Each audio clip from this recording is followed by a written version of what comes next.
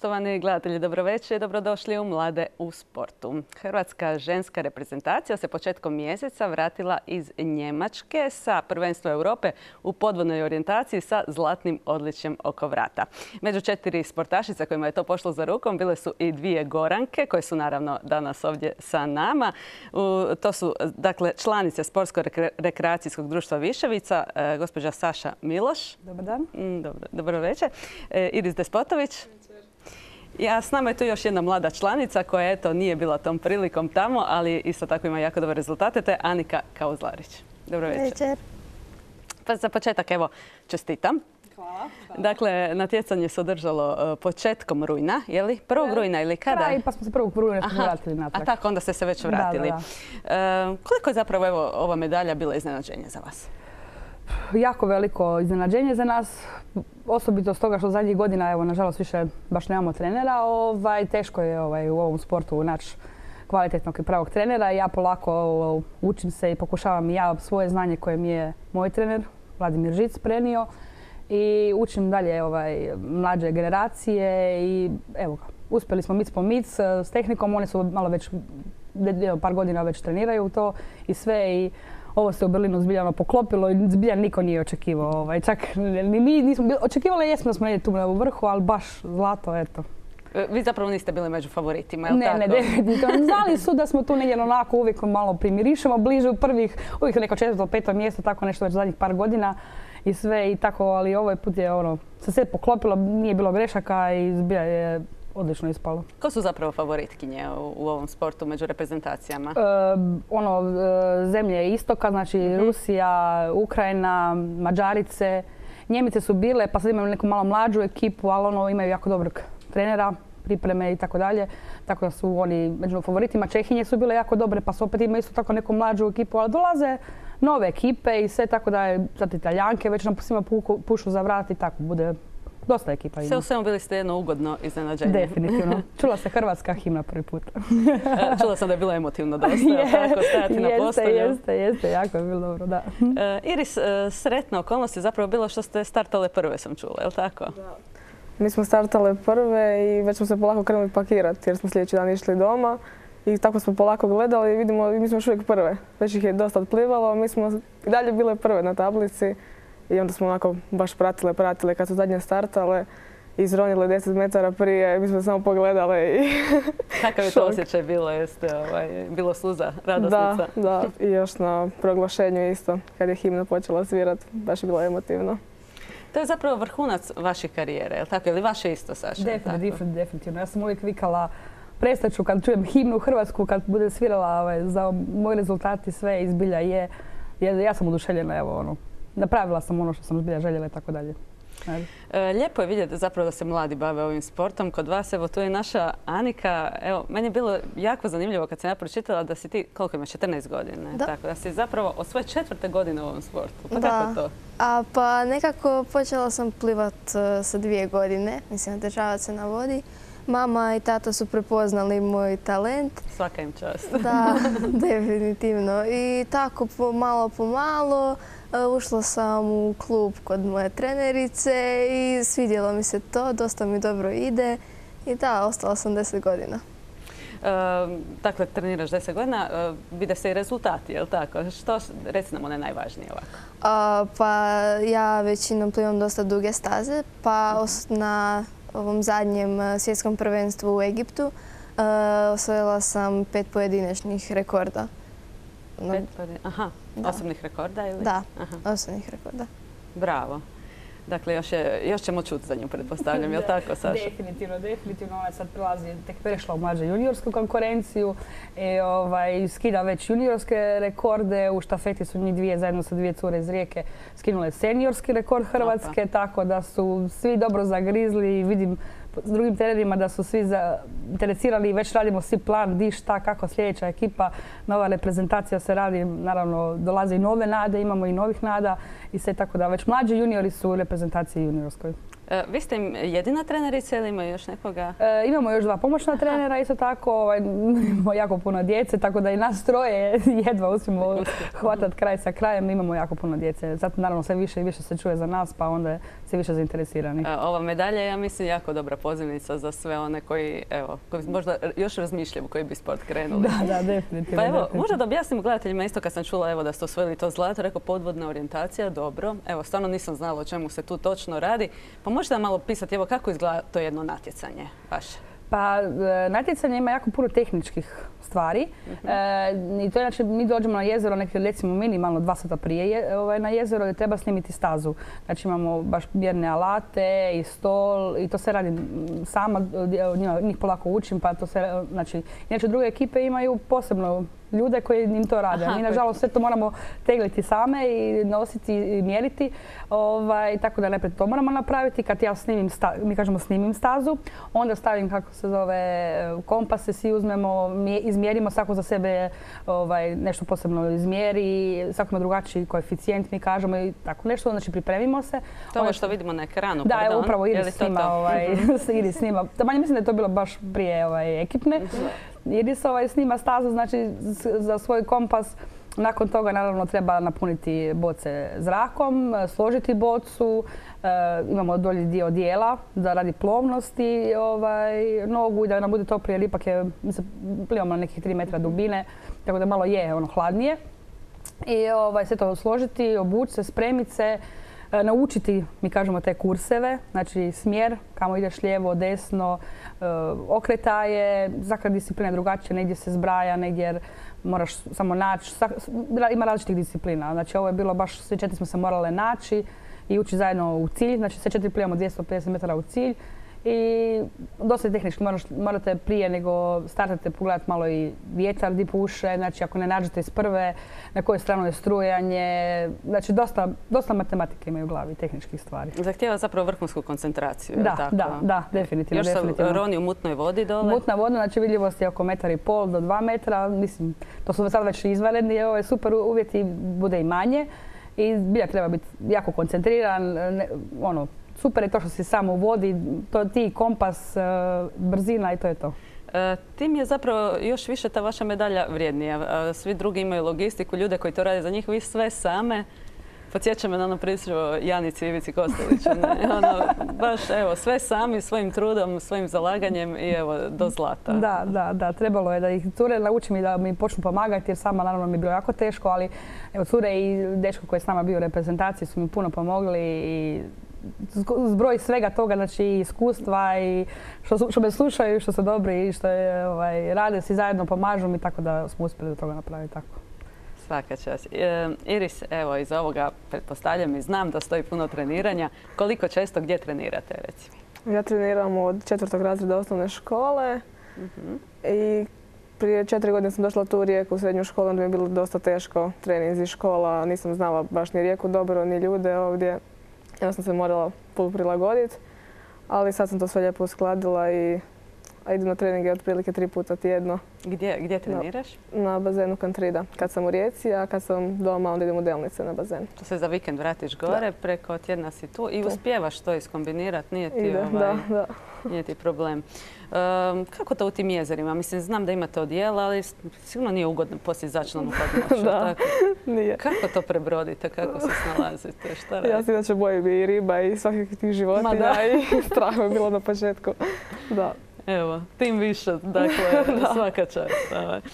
Anika, e, reci nam, e, ti isto ideš u školu, je li tako? Da, da. Sad si krenula u prvi srednje? Da.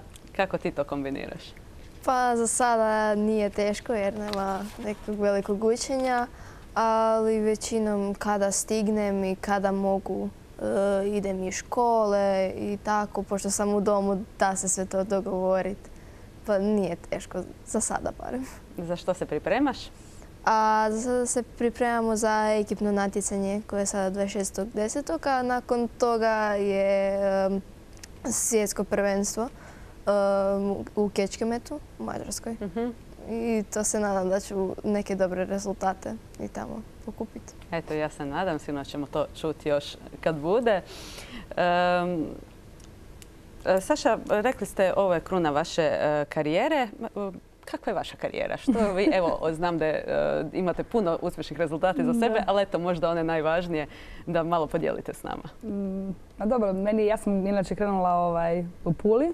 Trenirati ja sam ovaj, u Puli išla u osnovnu školu i tamo smo me upoznali sa ovim sportom, sa plivanjem perajama i sa podnom orijentacijom. I kad sam došla ovdje na fakultet ovdje e, u Rijeci, onda sam tu ušla u jedan od najboljih tada klu- klubova ovaj, u Rijeci i tamo sam imala odlične trenere i u plivanju perajama i u podnoj orijentaciji i s njih, oni su me zarazili za taj sport i bila sam oduševljena i sve je bilo super. Znači, trenirala sam i onda sam bila s njima u reprezentaciji, odlazila na natjecanja, imali smo isto dobru žensku ekipu, isto bila dobra ženska ekipa, isto smo imali vrlo dobre rezultate ovaj, i bilo je sve super. I onda kad, se, kad sam se udala, djeca su došla i tako, selila sam se u Gorski Kotar i mislila sam to je to. ne, Ono, ne, ne- više ništa od plivanja rodinja, ali mic po mic, evo, vidjela sam da djeca treba, tamo trebaju naučiti plivati i da trebaju, kako se zove, ići neka, da treba biti neka škola i tako nešto. Onda su me doslovce roditelji i oni malo, ajde ti, ti malo, malo pokaži ovo ono. I tako I došla do Viševice, tako, eto. E, Evo još možda za kraj ova oprema ovdje Može. što smo izložili. Recite nam malo kako je nabavljati, je li teško doći do nje i što zapravo tu sve vidimo? Pa ispred imamo bocu sa zrakom, e, ispred od iza ima plovke koji, znači kako se zrak e, prazni, onda se plovci se pune vodom da radi balansa. Na vrhu je repa, imamo rep, ovaj srebrni dio, ide kompas, ovaj veliki dio. Inače imamo još i regulator, naravno da možemo ovaj, disati. E, plivamo sa monoperajom jer smo s njom brži i bolje je, lakše prođemo kroz vodu. I ovaj plovak crveni, znači on se vidi na površini jezera, tako da sudac zna gdje smo mi. E, Kako nabavljate opremu? Ima je kod nas za kupiti E, ili? Nažalost nemamo, svakako, znači inače to je ovaj, moram reći, ruski sport, pa više manje od Rusa i Ukrajinaca ovaj, otkupljujemo ovaj, opremu, da imamo i posebnu maks- masku, maska je, ovaj, se cijela vidi, malo je drugačija nego ove obične maske, tako da sve moramo naručiti, mic po mic, skupljamo, po- posuđujemo jedan drugome na početku kad neko krene i sve, ali ovaj, uspijemo na kraju skupiti. Svake godine roditelji pa još malo za ovo, malo za ono, pa tako da uspijemo nešto. Glavno da se uspije. Da, da. Eto, e, mi smo došli e, do kraja našeg termina. Evo ja ću još samo za kraj reći, dakle, Sportsko-rekreacijsko društvo Viševica, ukoliko neko zainteresiran, može vam se javiti, jel tako? Definitivno, E, definitivno. Doći na trening, malo probati. E, Evo, cure, e, Saša, ja vam želim svu sreću u vašim daljnjim natjecanjima i eto, u Hvala vam što ste nas Hvala. zvali. Hvala. Hvala. A mi idemo dalje. U sklopu Europskog tjedna sporta prošle je srijede oživio riječki lukobran, a sve kako bi tjelesna aktivnost postala sastavni dio života svakog djeteta. Pa pogledajmo.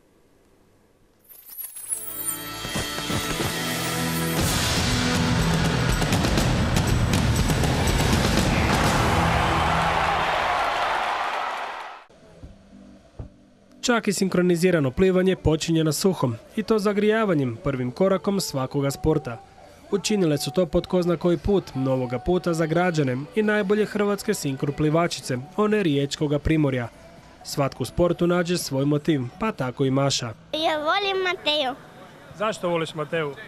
Zato jer ona trenira se u sinkroniziranom plivanju.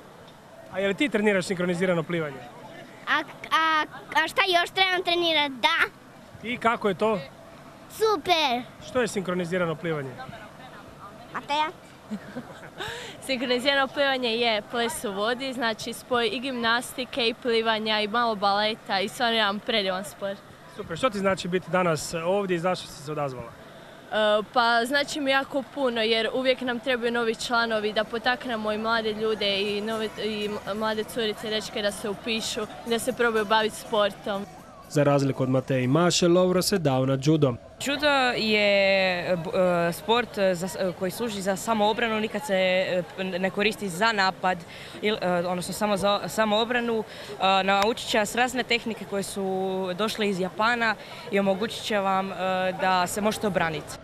Vježbali su jutros na mololongu kineziolozi, profesori, treneri. Mi se rado u principu odazivamo na što više ovakvih stvari što možemo. Mislim da je dosta bitno u današnje vrijeme jednostavno da se djeca bave sportom, da se rekreiraju i da probaju što više stvari. Nije ni bitno sad u kojem sportu se radi, jednostavno da se uključi što više ovakvih nekakvih stvari i da ne moraju samo dolaziti na treninge za vježbanje, nego eto tako da se svi skupa druže i malo bave različitim sportovima.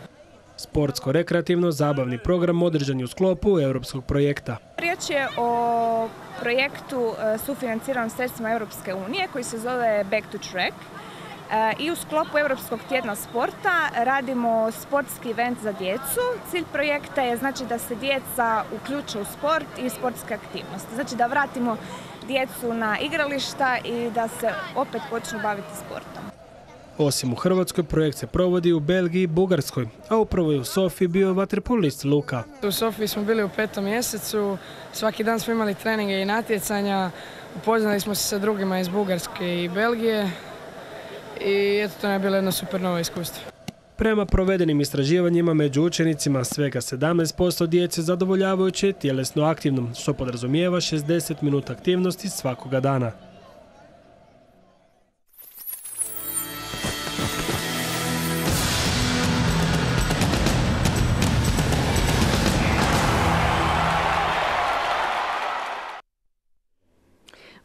Klasi Laser 4.7 u konkurenciji čak 120 jedriličara sa svjetskog prvenstva u Kanadi. Jedan se mladi riječanin vratio sa srebrom oko vrata. Riječ je o članu jak kluba Kroacija, Roku Stipanoviću. Roko, dobro večer. Dobro večer. E, s njim su u društvu i trener Juraj Divjakinja. Dobro večer. Dobro večer. Te predsjednik kluba, gospodin Mladen Babac. Dobro večer. Dobro večer. E, evo, Roko prvenstvo se dakle održavalo od 16. do 23. kolovoza. Vratio si se, čuli smo kao vice prvak, da čujemo impresije. Pa evo da, nismo se baš to očekivali, nadali smo se tome i težili smo, ali evo, rezultat je došao kao ono, uh, uzrok svog tog rada i zapravo želje za, želje za tim nekim uspjehom na svjetskoj razini. E, sve se održavalo na jezeru, je li Je, tako? da, na jezeru Ontario. Kakvi su bili uvjeti? Uvjeti su bili baš super za jedrenje, 11 od 12 plovova je zapravo rijetko ono, neka regata uspije. I bilo je stvarno lijepoga vjetra, za mene su uvjeti bili pogođeni i to sam iskoristio najbolje kako sam mogao. I... Uvjeti na kakve si navikao, vjerojatno. Da, da. Organizacija? Organizacija regate je bila dosta dobra. Ako se uspije održati 11 plovova je to dobro sređeno s tim da smo prvi i zadnji dan natjecanja nismo, nismo jedrili zbog nedostatka vjetra. Tako da uspjeli su to dva plova još nagurat u drugi i treći dan jedrenja, tako da je to sve skupa prošlo dobro. E, Da malo objasnimo gledateljima koji se baš ne razumiju jedrenje. Dakle, ti plovovi, to se sve na kraju zbraja, je li tako? Da, da, zbrajaju se bodovi. Zapravo najmanji e, jedriličar s najmanjim brojem bodova pobjeđuje, a bodovi su e, zapravo mjesta ulaska u cilj. Mhm. Sa najmanjim brojem bodova. Da. Inače, iznenadio te uspjeh. Pa je, da, oduševljeni smo svi i Evo, da, da pitam možda trenera, Juraj, je li vas iznenadio uspjeh?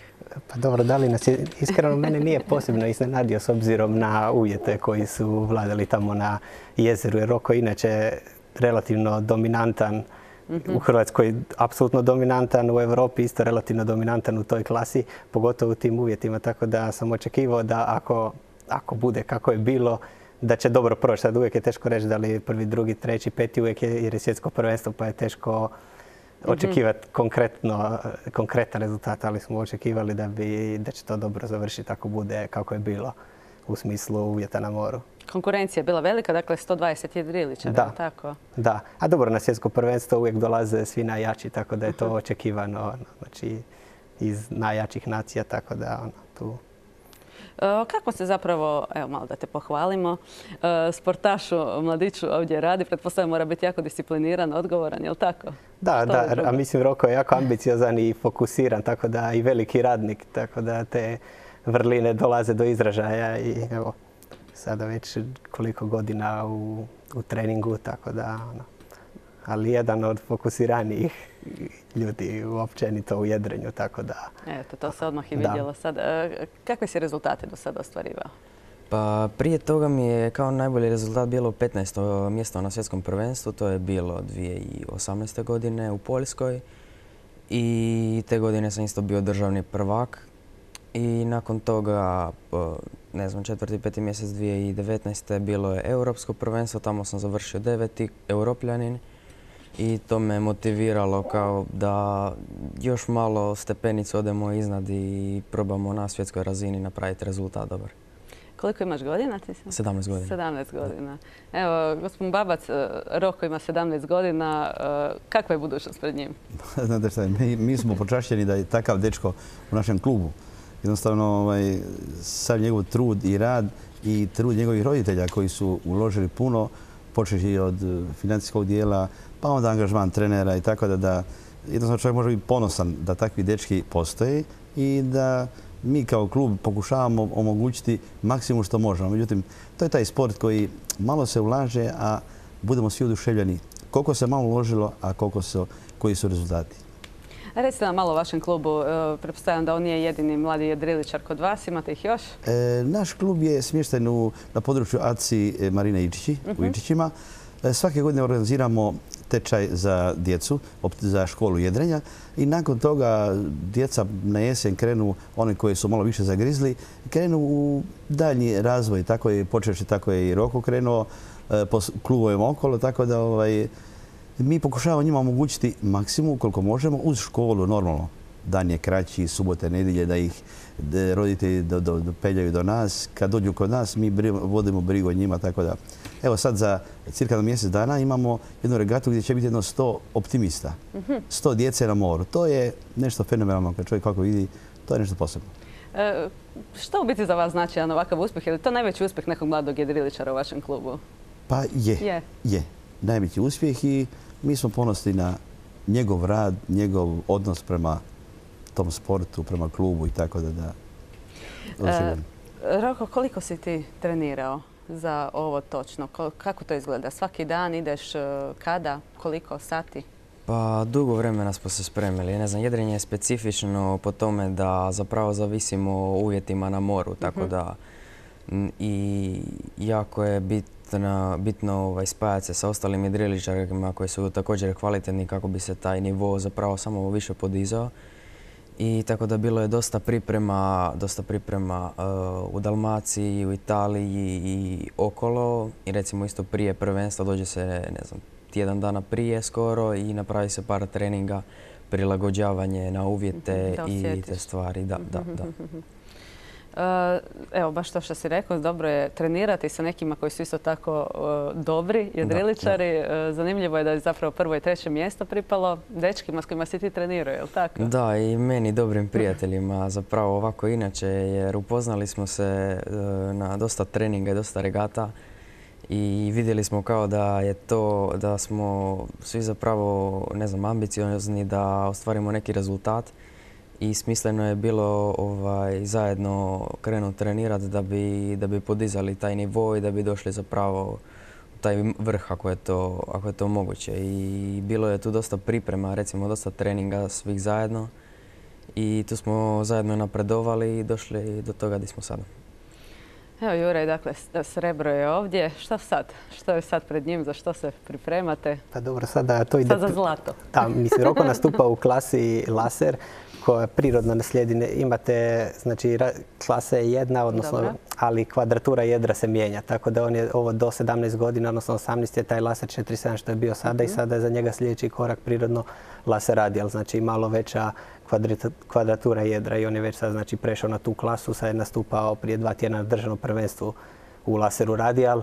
Znači ono, velike su sličnosti, ali kažem, jedino iziskuje malo veću fizičku pripremu, malo mhm. veću, veću kilažu i visinu eventualno. Tako da, evo, to je sad sljedeće, znači sad trenirati znači, u klasi teže je u biti malo, je? Teže je fizički, da, sa stajališta fizičkih predispozicija, da. da.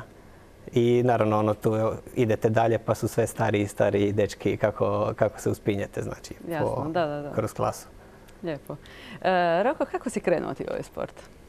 Pa krenuo sam sa 11 godina, mislim. E, uvijek sam bio volio more i brodove, to mi je nekako ne znam, uvijek bilo drago i jednom, jedan dan mi je tata predložio zapravo ovaj, tu školu jedrenja u Opatije koja se održavala i zapravo ja sam htio probat, baš me zanimalo to i prvi put sam tad bio u optimista i nakon prvog treninga sam shvatio da mi se to zapravo sviđa i da to, da to želim, želim nastaviti u tome. I tako, nakon nekoliko godina pojavila se želja za nekim rezultatom, za nekim e, višim e, napretkom i tako, ulagali smo u to i dosta truda i napredovali smo. Koji su izazovi sad pred tobom? Koji imaš neki cilj možda? Što očekuješ? Pa sada, e, kratkoročni cilj nam je ovaj, e, kvalificirati se za ISAF Youth prvenstvo. Mhm. To je to, to je evo, moja osobna želja. To se sva, iz e, svake nacije najbolje driličar u klasi Lase Radial. Mislim i ostalim klasama naravno.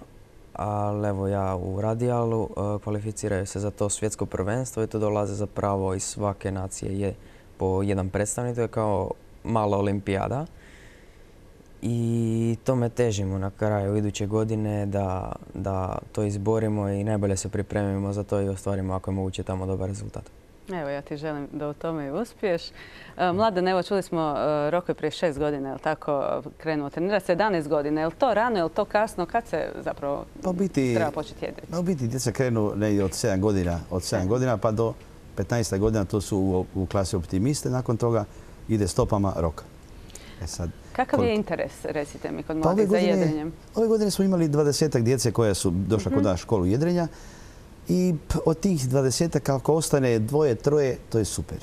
Mhm. Svake godine pokušavamo animirati tu djecu da, da dođu u naš klub, kako u naš, tako i ostale. Međutim, e, odaziv nekada bude dobar, nekada sve ovisi valjda i roditeljima. Biti danas je takva neka, situacija da, da e, sve vezano za financije, dolazak u Ičiće, odlazak iz Ičića, tako da da. Ali mi smo za sad zadovoljni. Sad ste zadovoljni. Eto, e, hvala vam puno što ste bili naši gosti, što ste nam malo predstavili vaš klub, gdje klub Kroacija, Jedrenje, Roko, što, što ste nam ti došao, evo, vice prvaka u Jedrenju imati e, čast u ovoj emisiji. Nadam se da ćemo se opet vidjeti evo, jednom i puno sreće vam želim u danjim natjecanjima. Hvala. hvala.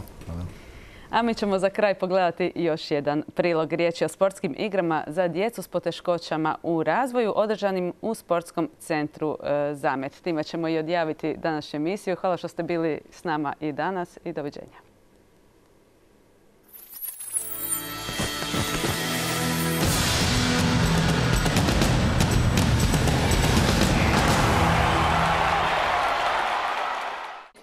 Atletika, nogomet, košarka i stolni tenis. Izbor je sportova ponuđena 11. izdanju riječkih sportskih igara za djecu s poteškoćama u razvoju, održanim u centru Zamet.